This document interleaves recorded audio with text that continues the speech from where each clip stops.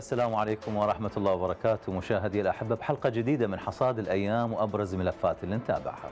خط جيهان. أنقرة تفرض شروطا خيالية لإعادة الاستئناف وبدائل التصريف أقصر الخيارات. صناعة الدواء في العراق تطوير وتعزيز القطاع وفرص الارتقاء بالأمن الدوائي. حياكم الله مشاهدي الأحبة. من الماء إلى النفط الخام تمارس أنقرة سياسة لي الذراع مع بغداد. بعد فرضها شروطا تعجيزية لاستئناف خط جيهان الذي توقفت صادرات العراق إليه استجابة لقرار المحكمة الدولية واللي أعادت ترتيب العلاقة النفطية بين المركز والإقليم على إيقاع جديد. الكل فيه آه، منصت لسلطة القانون. سياسة الجارة الشمالية وفرضها شروط تعجيزية تبدأ من الضغط على بغداد بغية إجبارها على إسقاط التعويضات وفي أقل الاحتمالات تقليل المبلغ. وقد تقودها إلى خسائر وخسارة مورد اقتصادي إذا ما اتجهت البلاد نحو الخيارات البديلة.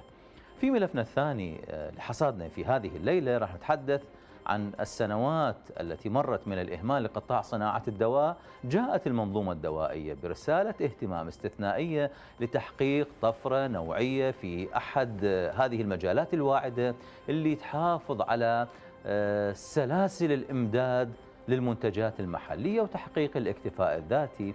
غير أن ذلك مشروط بالعمل وفق ارتكازات تكنولوجية تأخذ بعين الاعتبار ما وصلت إليه أغلب البحوث والتقارير العلمية وبالشراكة مع آه، المنظمات الدولية. هذين ملفين راح نتابعهم ضمن حصادنا لهذه الليلة ونناقشهم مع ضيوفنا المتخصصين في هذين الشأنين. تتفضلون بقاء ويانا ومتابعتنا.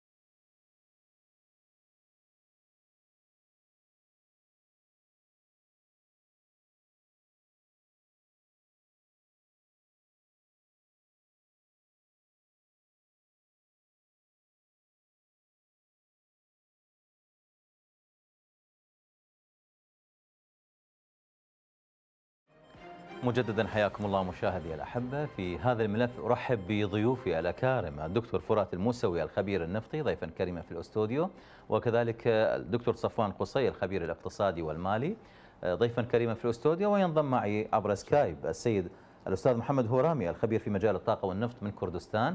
حياكم الله ضيوفا كرام. دكتور فرات أبدأ مع حضرتك ونتحدث من آه، شروط أنقرة الستة لاستئناف آه، خط جيهان. من وجهة نظر حضرتك تعتبرها جائرة أم خيالية آه، لما تكون بهذه المبالغة لو تشوف أنه من الممكن التفاوض حول هذه الشروط نعم مساء الخير عليكم جميعا وعلى السادة مشاهديكم الكرام وعلى ضيوفك الأكارم. حياكم الله. آه، حقيقة ما يعني تم تداوله بالإعلام آه، يعني أخيرا حول شروط أنقرة في التفاوض حول يعني استمرار أو رجوع خط أنابيب جيهان إلى العمل. لحد الآن يعني طبعا هناك شروط يعني عادية بسيطة وهناك شروط مجحفة. بالبداية أحب أنوه إن هذه الشروط ما زالت هي يعني غير رسمية لا يوجد لها أي مصدر يعني حقيقي هي مجرد تسريبات إعلامية. هذا واحد. اثنين آه، يعني يعني ما تنادي به أنقرة الأمور الرئيسية اللي هاي راح أذكرها اللي هي أول شيء تنازل العراق عن آه، حق المخالفة الضريبية المفروض اللي تدفع الغرامة التي تدفعها أنقرة واللي هي بحدود آه، مليار و400 مليون جراء مقاضاتها عبر محكمة باريس الدولية. وهذا بالنسبة للعراق هذا الشرط يعني حقيقة شرط لو حسبنا العراق آه، يعني منذ توقف تصدير النفط لحد الآن آه، خسائر أضعاف أضعاف هذه هذا الرقم. يعني تقريبا آه، إحنا عندنا 480 ألف برميل متوقف بحدود مليار دولار شهريا. يعني لا شيء بالنسبة للغرامة. ممكن التفاوض التفاوض في هذه المسألة من الجانب العراقي. هذا من جهة. جميع حقيقة الشروط التي يجب التفاوض عليها هي ليست يعني شروط فنية هي شروط مفاوضات سياسية بحتة حيث أن الأنبوب من الناحية الفنية لا يوجد به أي مشاكل للتصدير وكذلك يعني كميات التي يجب أن تصدر هي موجودة وأيضا الشركات التي تشتري النفط العراقي موجودة لا يوجد أي مشاكل فنية. كل ما على العراق أن يبدأ بالتفاوض ب يعني أشخاص محترفين في في هذا المجال. ونحن لدينا ملفات اقتصادية وملفات طاقوية مهمة جدا مع الجانب التركي. أما يعني غير ذلك يعني لا يوجد أي أي مصدر حقيقي لوجود أي يعني شروط تعجيزية لحد الآن. ما ينتظره العراق حقيقه لبدء المفاوضات. بشكل رسمي وجها لوجه عند زيارة السيد أردوغان في الأيام القليلة القادمة.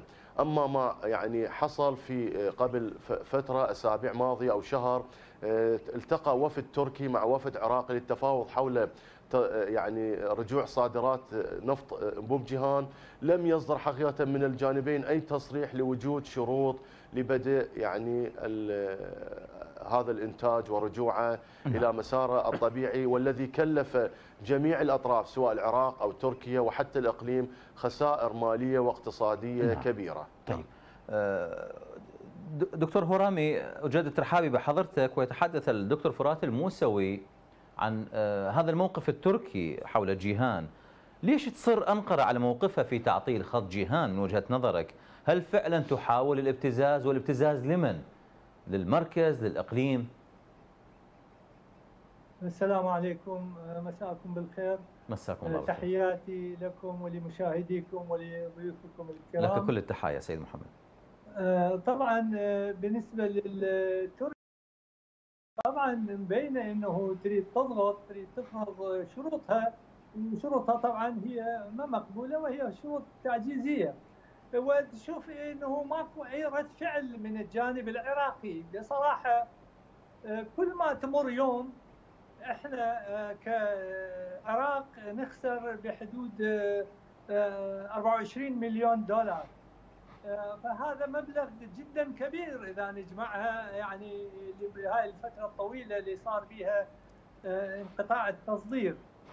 آه، ورد فعل مفروض كما تعرفون شركات التركية موجودة من البصرة للزافو وعندها مشاريع ضخمة بمليارات الدولارات وأكو تجارة متبادلة فمفروض الدولة العراقية هم عندها موقف مقابل هاي الخسارة لأن خسارة تركيا بصراحة هي خسارة جزئية إذا نقارنها مع الخسارة العراقية.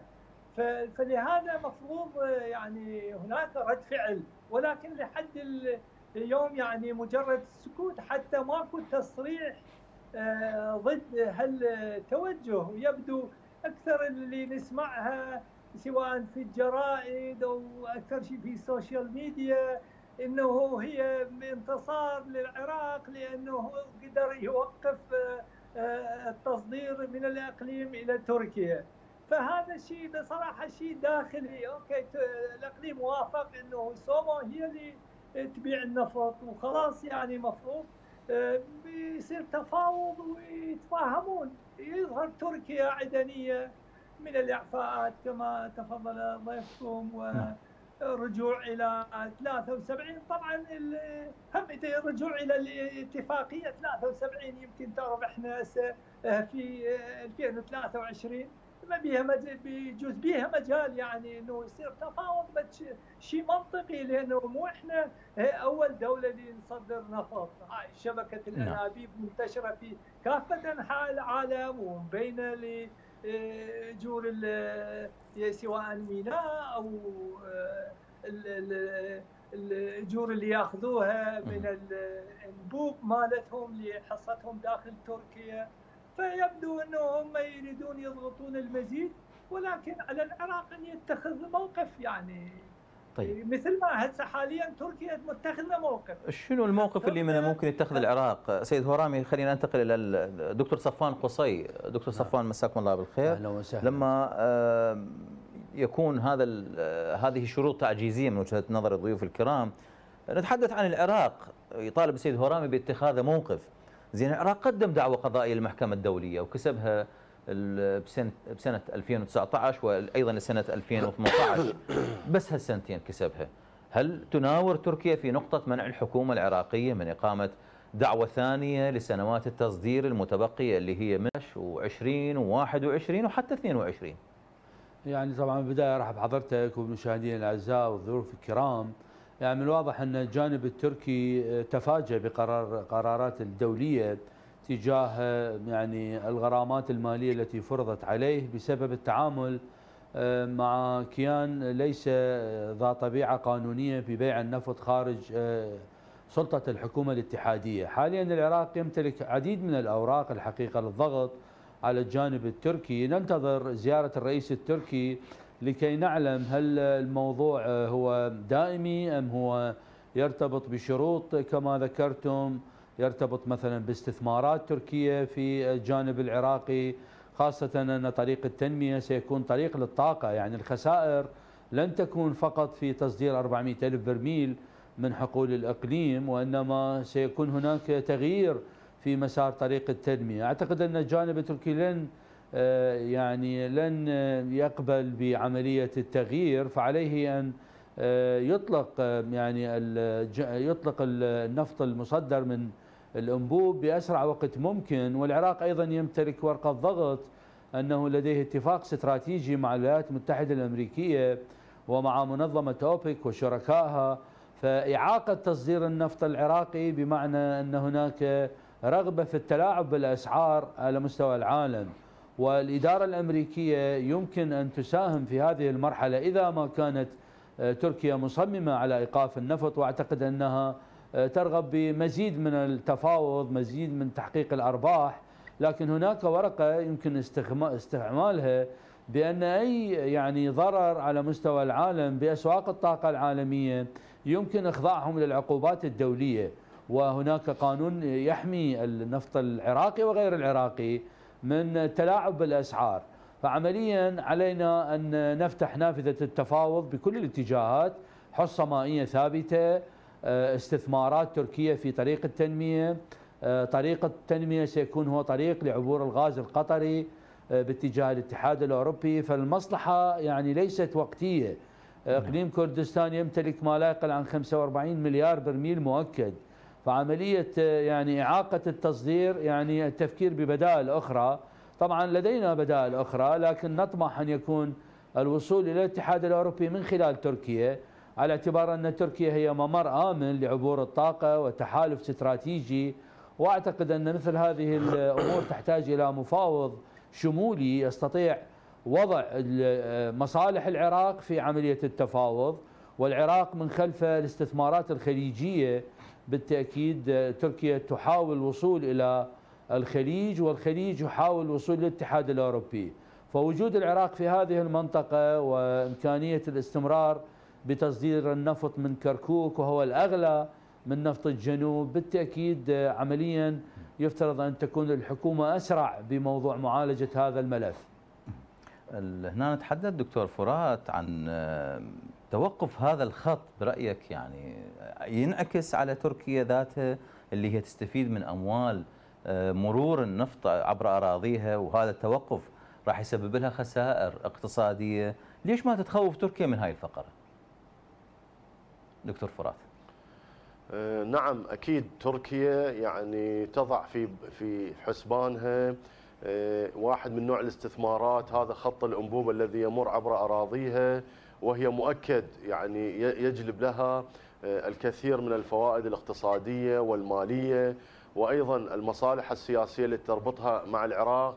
المسألة مثل ما ذكر دكتور صفان هي مسألة وقت آه، لإجراء آه، تفاوض آه، كل بلد يبحث عن مصلحته. تركيا لها أفق واسع وبعيد المدى وهي لا تنظر للأمور من زاوية ضيقة. وعلى العراق أن ينظر بنفس بنفس المستوى نفس هذا الأفق. هناك كما ذكرت ملفات اقتصادية جدا مهمة وأيضا هذه الملفات لها جنبات سياسية ترتبط بها البلدين.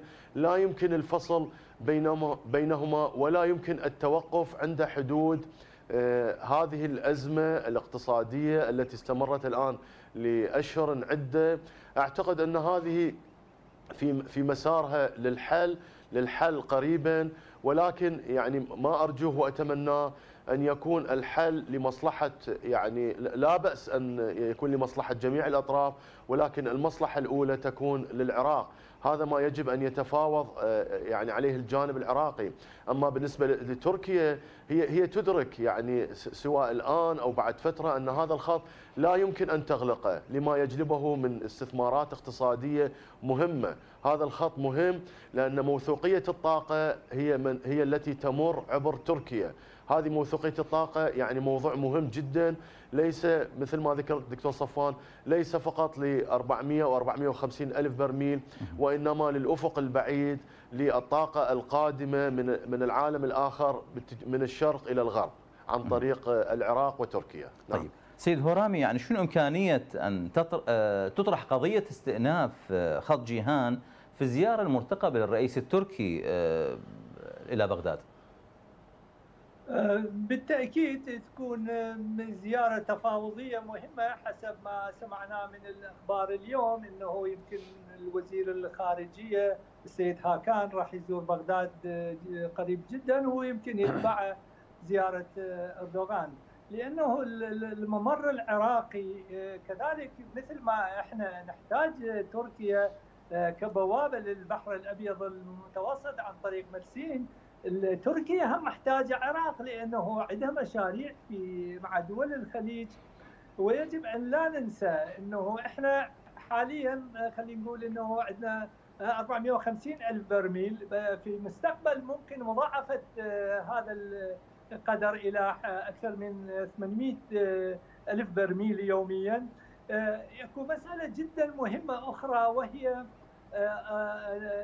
نقل الطاقة الكهربائية. دول الخليج لديها خطط مستقبلية لتصدير طاقتها الفائض خصوصا في فصل الشتاء. لأنه كما تعرفون الخليج مثل جنوب العراق والوسط وغيرها تحتاج إلى طاقة كهربائية كبيرة في الفصل الصيف. لكن في فصل الشتاء آه، هذه الطاقة تبقى آه، خاملة آه، يستفاد منها. ولكن باستخدام العراق كممر لنقل الطاقة من الخليج إلى تركيا ومنها إلى أوروبا فهو شيء شيء استراتيجي وكثير من الدراسات موجودة حول هذا.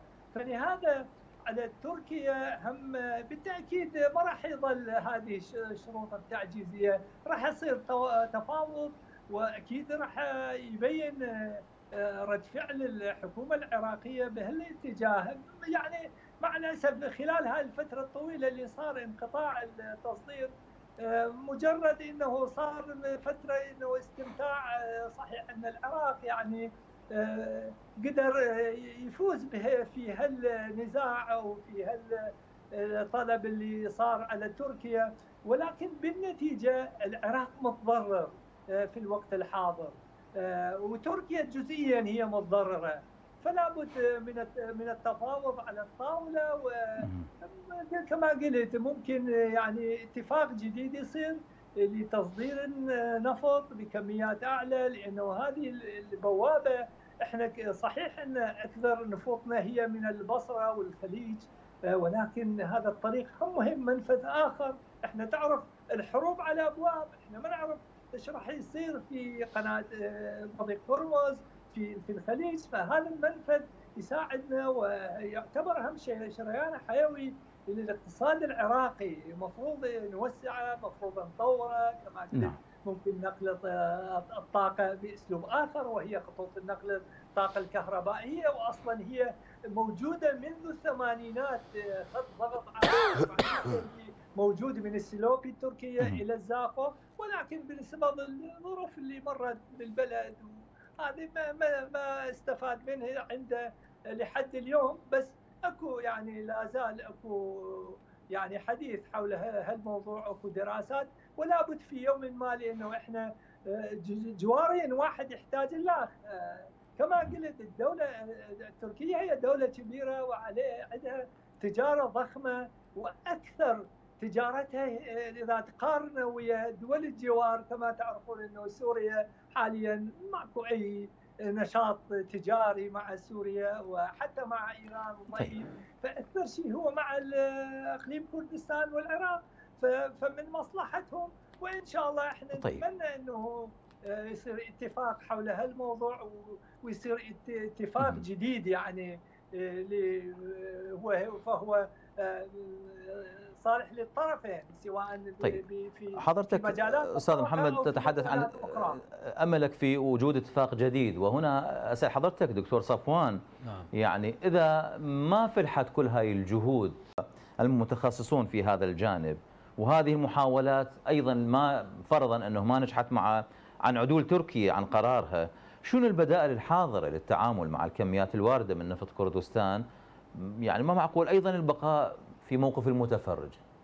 يعني طبعا العراق يمتلك قدرة على زيادة صادراته من الجنوب سواء من حقول مجنون أكثر من 200 ألف برميل يمكن زيادتها وكذلك حقول البصرة. فعمليا نستطيع زيادة الضخ من حقول الجنوب لكن قيمة النفط من المنتج من كركوك ومن داخل الإقليم هو أعلى من من حيث السعر لأن نوعية النفط هي تنسجم مع نفط برنت.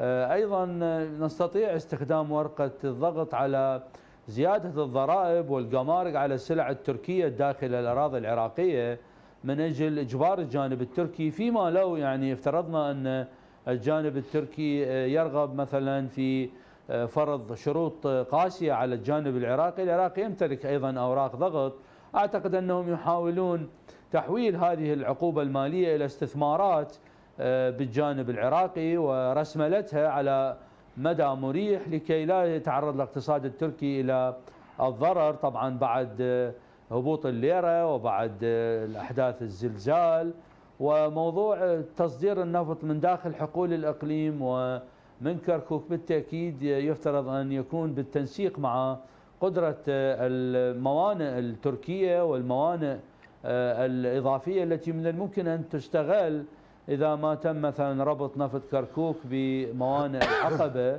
آه، باتجاه مدينة السويس يعني العراق يفكر بالتنويع ومثل ما تفضل الأستاذ أن هناك مخاطر آه، ترتبط باعتماد العراق على منفذ واحد في عملية التصدير فوزارة النفط آه، ماضية باتجاه تنويع مصادر التصدير نعم. باتجاه سوريا ميناء بيناء ميناس السوري وكذلك المملكة الأردنية وأيضا عملية زيادة الضخ من الجانب التركي تعتمد هذه تعتمد على قدرة الجانب التركي على إقناع العراق بأنه يرغب بالتكامل الاقتصادي. لدينا آه، قوة مالية تدعم الآن التكامل آه، بالتأكيد ميناء الفاو هو بوابة الترابط بين الإنتاج الصيني والهندي والاستهلاك الأوروبي والعكس صحيح وكذلك إمكانية ربط أموال الخليج واستثمارات الخليج لتنمية الاقتصاد العراقي والذهاب باتجاه تصدير الطاقة إلى الاتحاد الأوروبي والعكس صحيح. فعمليا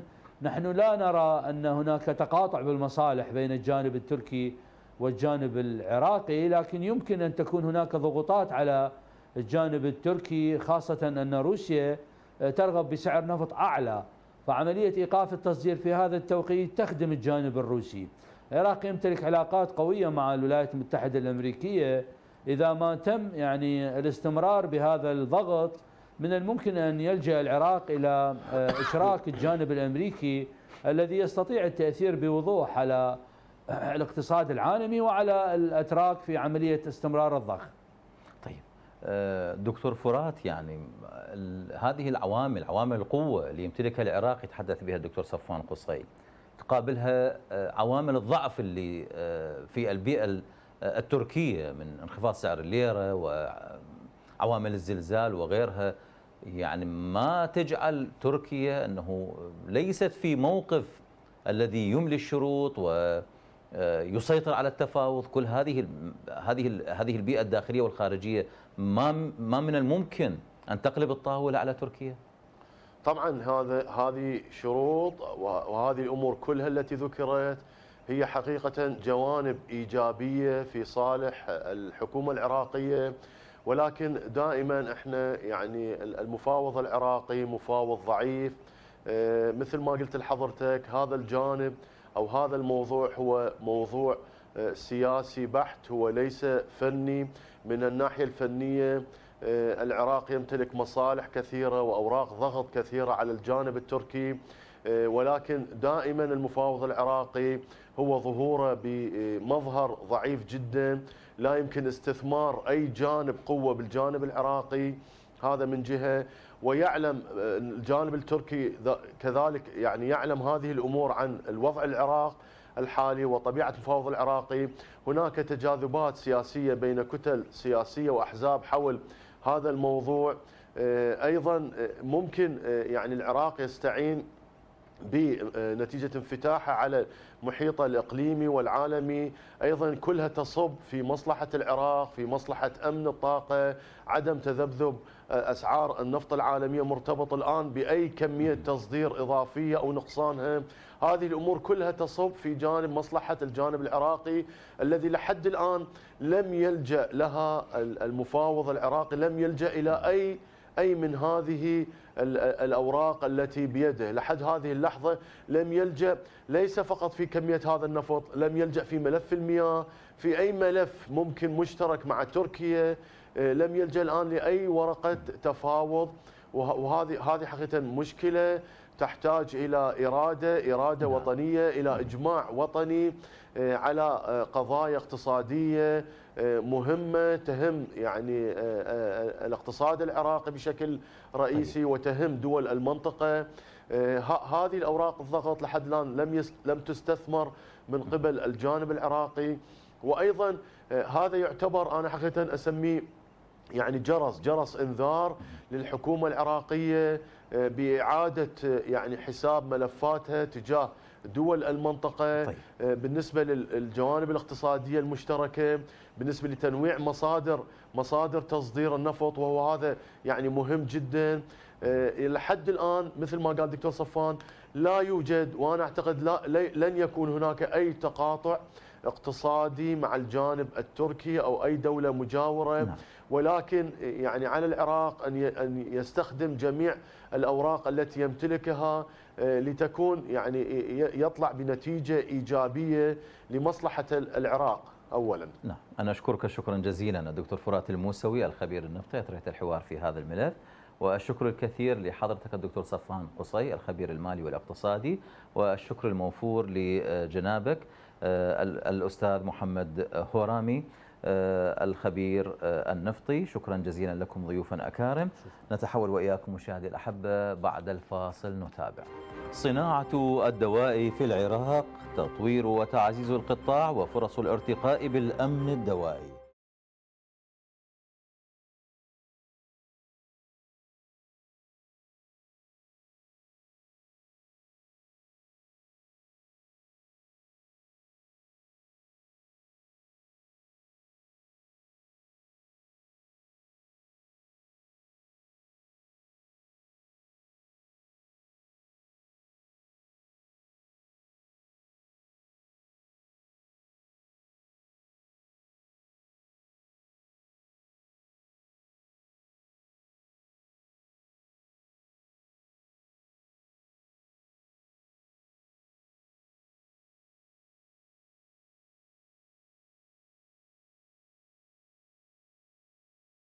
مجددا حياكم الله واجدد ترحابي بهذا الملف بالدكتور صفوان قصير خبير المالي والاقتصادي. أهلا بك دكتور مرة أخرى. وكذلك أرحب بالدكتور مثنى الطائي عضو نقابة الصيادلة. حياكم الله ضيوفا أكارم. دكتور مثنى بلغة الأرقام أهلا وسهلا بك. حياكم الله. حياكم نتحدث الله. عن إنتاج العراق حاليا من الدواء. كم هي نسبة نسبة هذا الإنتاج؟ وش قد غطى من حاجة العراق من الأدوية؟ آه، بداية بسم الله الرحمن الرحيم. تحية طيبة لكم و للمشاهدين الكرام. آه، بالنسبة ما يخص يعني قصدك أنت تقصد على الصناعة الدوائية المحلية. نعم إنتاج العراق من الدواء. يعني للأسف لحد الآن إحنا لا يوجد لدينا اكتفاء ذاتي من الصناعة الدوائية المحلية. أه نحتاج إلى دعم لهذا القطاع إن كان بشقيه الحكومي أو الأهلي. نحتاج إلى دعم الدولة توفير أه أنه الدولة توفر حماية لهذا القطاع المهم والحيوي. لكي يكون لدينا مو فقط اكتفاء ذاتي وإنما أيضا أه قد تكون في المستقبل أه تكون لدينا قدرة على التصدير حالنا حال باقي دول الجوار اللي هي ممكن أنه أه تكتفي ذاتيا من صناعتها للأدوية وتصدر بعض منتجاتها الدوائية إلى الخارج. طبعا هذا الموضوع يعني يحظى باهتمام معالي وزير الصحة ودولة رئيس الوزراء والحكومة الحالية باعتبار أنه الأمن الدوائي هو جزء أساسي من الأمن الداخلي والأمن الوطني وموضوع الاكتفاء الذاتي هو جزء أساسي من الأمن الدوائي وتوفير الأمن الدوائي للمواطن للمرحلة القادمة كنسبة أنا قلت لك يعني نعم. للأسف الشديد بالنسبة للصناعة المحلية يعني كما ونوعا تحتاج أنه نرتقي بها أشواط متعددة وتحتاج إلى يعني دعم من الدولة وأيضا استثمار استثمار إن كان من القطاع الخاص أو من القطاع الحكومي أو على الأقل القطاع الخاص أنه يستثمر في هذه الصناعة وتكون هنالك شراكات مع شركات عالمية مثلا أو شركات يعني اجنب يعني أجنبية عربية دول الجوار مثلا تصير شراكات وامتيازات لمصانع أجنبية تكون لها امتيازات داخل مع المصانع العراقية لتطوير الصناعة الدوائية، يعني تعرف انت هذا تصنيع الدواء يعني هو يمتلك ما يسمى بالنو هاو أو بالحق الحصري يعني أكو شركات عالمية معروفة هي اللي مثلا لها الحق الحصري في إنتاج بعض الأدوية. زين. فتمضي عليها فترة من الزمن يعني خلينا نقول 10 أو 15 سنة أو 20 أو 30 سنة إلى أن ينتهي هذا الحق الحصري وبالتالي يكون بإمكان الشركات الأخرى إحنا نسميها ال generic يعني ذيك ال brand آه بإمكانها أن تصنع هذه الأدوية طيب. وتكون بأسعار تنافسية طبعا وذات جودة عالية. آه إحنا صناعتنا الوطنية يعني صراحة يعني آه خصوصا مثلا مصنع سامراء على سبيل المثال باعتباره أقدم مصنع دوائي في العراق وفي الشرق الأوسط يعني يعتبر من أجود المصانع في الشرق الأوسط وفي العالم وإنتاجه إنتاج يعني جيد إن لم نقل ممتاز جدا نعم. آه ومع ذلك نحتاج إنه نطور هذه الصناعة كما ونوعا. يعني النوع يعني صار, صار يعني آه بعض بعض المفارقات دكتور نعم. مثنى. دكتور صفوان جدة ترحابي حضرتك ويتحدث الدكتور مثنى عن التراجع أو عدم آه الاكتفاء الذاتي في القطاع الدوائي وفي نفس الوقت يتحدث دكتور الطائي عن وجود أكبر مصنع. مرة عندنا مال عندنا يد عاملة عندنا سوق مستهلكة أيضا. نعم. قبال هذا نتحدث عن مقومات هذه الصناعة في العراق لما تكون متوفرة بهذا الشكل ووجود هذه العناصر هل قدمت دعم إضافي للارتقاء بواقع الصناعة الدوائية؟ طبعا من الواضح يعني العراق بلد مستهلك للأدوية ويستورد يعني مليارات دولارات أكثر من 3 مليار دولار سنويا. وهو غائب عن موضوع يعني تطوير الكوادر العلمية للتخصص بصناعات الدواء. يعني البحث العلمي مثل هذه النو هاو اللي يتحدث عنها الدكتور بالتأكيد إن العراق بلد كان يفترض أن يهتم بهذا الجانب وكان هناك عرض من معمل سامراء إلى وزارة الصحة العراقية بشراء الأدوية المنتجة بدل ان تقوم بعملية استيرادها.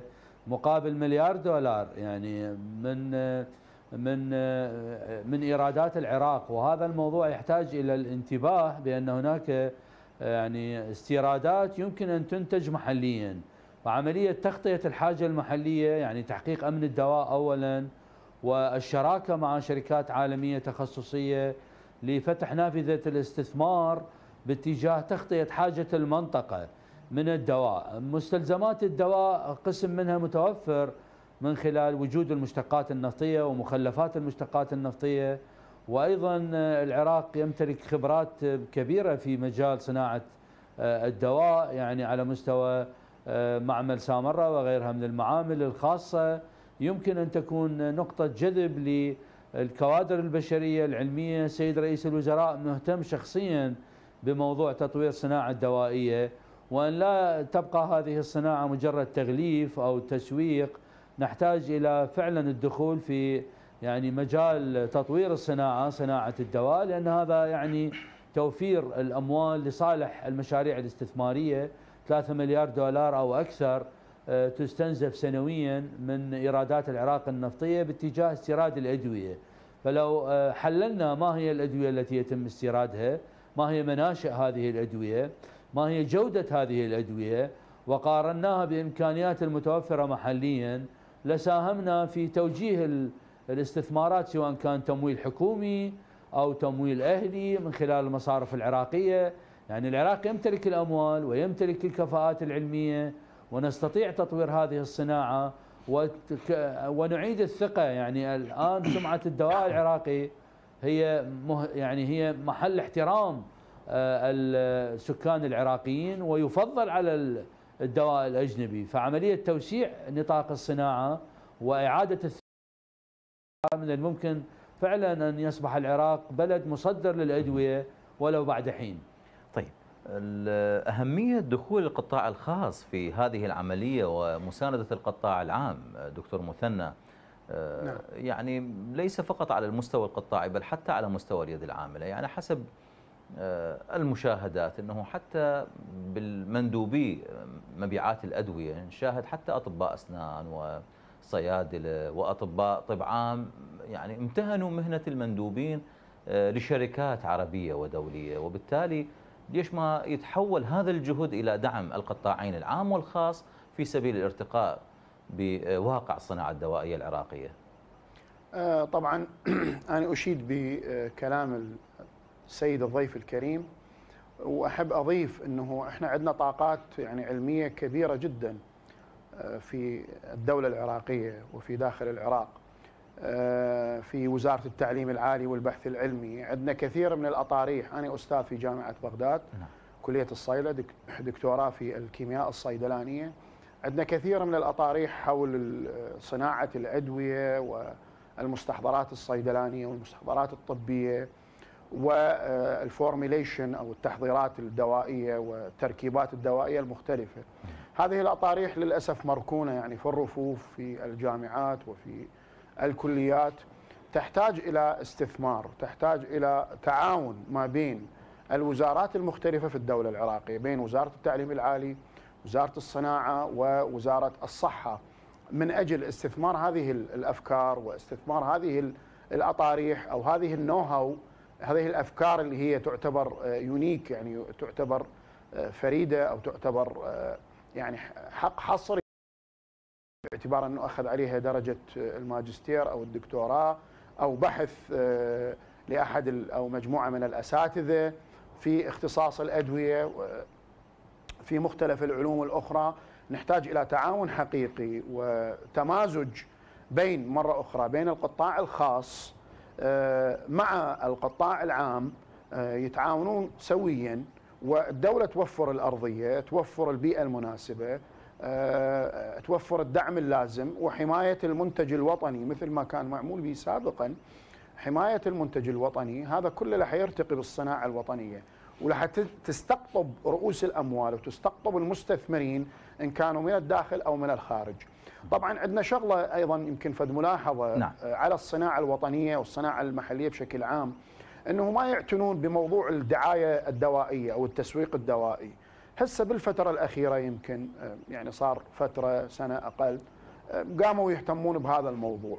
يعني للأسف دائما الشركات الأجنبية تهتم بموضوع التسويق بموضوع الدعاية بموضوع الإعلان. طبعا ضمن الشروط العلمية وضمن السياقات المتبعة والمعتمدة في وزارة الصحة آه، للأسف ما كانت عندنا هذه الثقافة لدى مصانعنا الوطنية. يعني آه، زين ان كانت حكومية أو محلية. يمكن بالآونة الأخيرة مصنع سامره يمكن بدا هذا الموضوع. يمكن مصنع بايونير في السليمانية آه، بدا يعني يسوي فريق. من آه، الخبراء ومن الصيادلة آه، من أجل التسويق ومن أجل الدعاية الدوائية اللي مبنية على أسس علمية صحيحة خلينا نقول. ودا يتعاونون يعني مع الوزارات المختلفة مع وزارة الصحة ومع المعني بهذا الموضوع اللي هو الطبيب والصيدلي.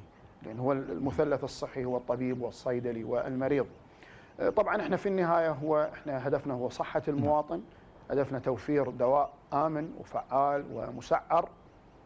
وهنا أرجع إلى موضوع التسعيرة الدوائية واللاصق السعري ومشروع التتبع الدوائي اللي تبنته وزارة الصحة بالتعاون مع نقابة الصيادله اللي صار له تقريبا أشهر. آه، هذا المشروع هذا مشروع يعني كبير جدا مشروع مهم جدا مشروع رح يحقق الأمن الدوائي رح يحقق التتبع الدوائي الصحيح.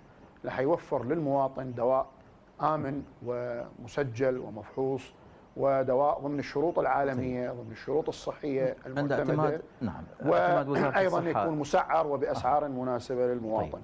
وزارة الصحة لما تقوم بهذا الدور دكتور صفوان نتحدث نعم. في جانب آخر عن آه، حدود ما تستطيع فعله المنظمات الدولية و تقديمه أيضا لتسريع عملية توطين الصناعات الدوائية في العراق.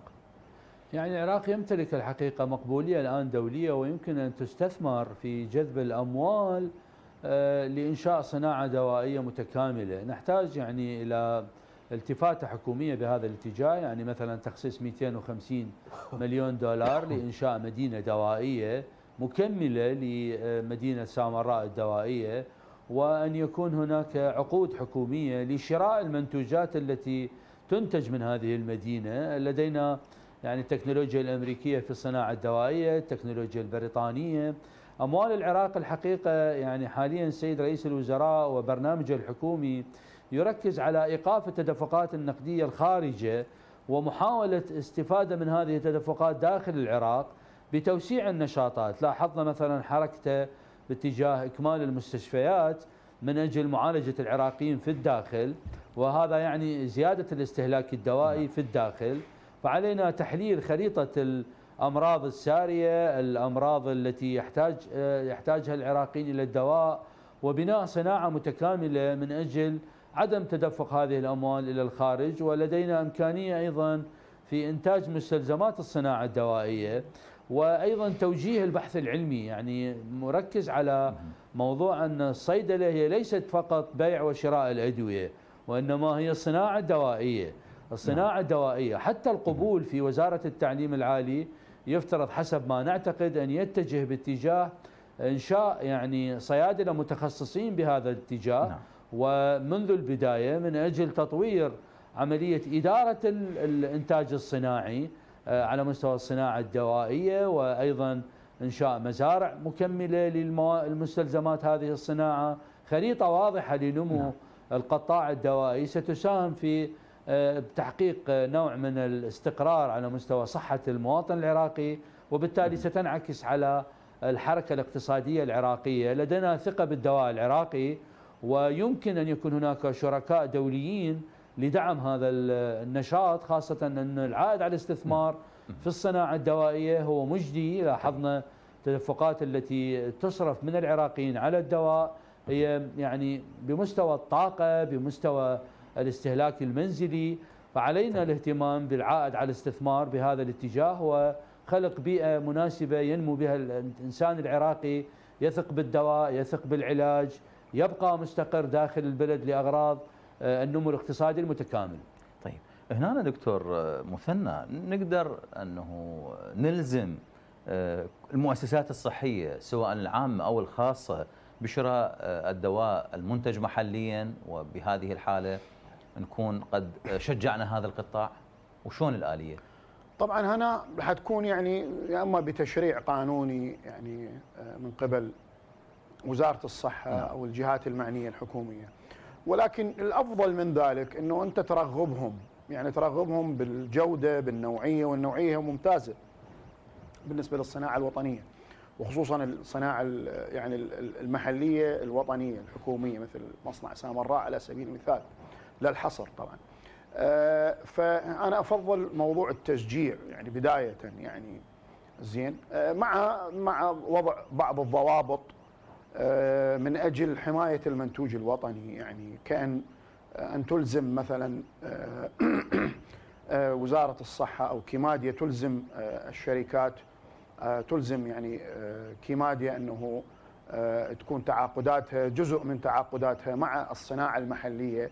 وهي موجودة حاليا فعلا يعني صراحة يعني مشكورة وزارة الصحة لهذا التوجه من أجل دعم الصناعة الوطنية.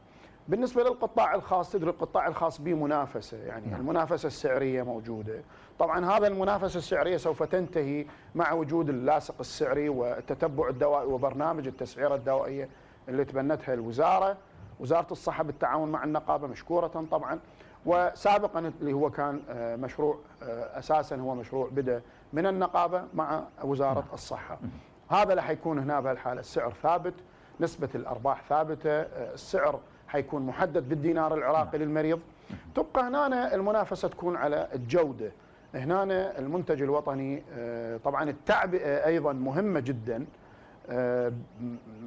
يعني إنه المواطن يتقبل دائما نعم. المواطن يتقبل التعبئة الجيدة يعني يقول لك شلون شوفت العين يعني عفوا يعني نعم. زين. طبعا إحنا أكيد نحكي على الجودة الداخلية الجودة المصنعية ولكن الجودة الخارجية أو التعبئه أو الشكل أيضا مهم في بعض الأحيان. يعني حسب المثل اللي يقول يعني عذرا ولو أنا رجل علمي نعم. بس يقول العين تشتري قبل اليد مثل ما يقولون. فهنا آه، آه، تحتاج إنه تطور عدة جوانب. من ناحية الجودة جودة جيدة وأحسنها بعد أكثر. من ناحية السعر أنا حتكون الأسعار ثابتة ومحددة نعم.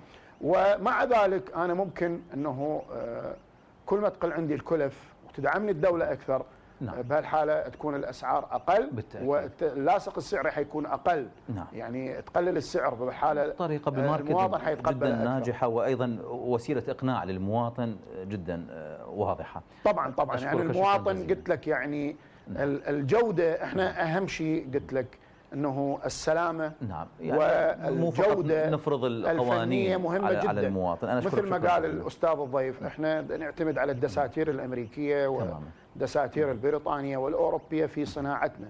صناعتنا هي من أجود الصناعات. نعم. إحنا شروطنا أساسا شروط وزارة الصحة شروط الدولة العراقية. بالنسبة للدواء شروط كلش قاسية وقوية جدا. بالتأكيد. وهذا من أجل الرصانة على على الصناعة. حفاظا على صحة المواطن صراحة. نعم. فضلا عن تصدير الدولة الدولة يعني مشكورة نعم. ودولة مقاطعتك الدكتور الدكتور مشكور إنه دعمه لهذا القطاع الحيوي. مقاطعتك. شكرا جزيلا لحضرتك الدكتور مثنى الطائي عضو نقابه الصيادلة والدكتور صفوان قصي الخبير الاقتصادي والمالي أثريت الحوار في ملفين شكري موصول لكم مشاهدي الأحبة على حسن المتابعة في أمان الله.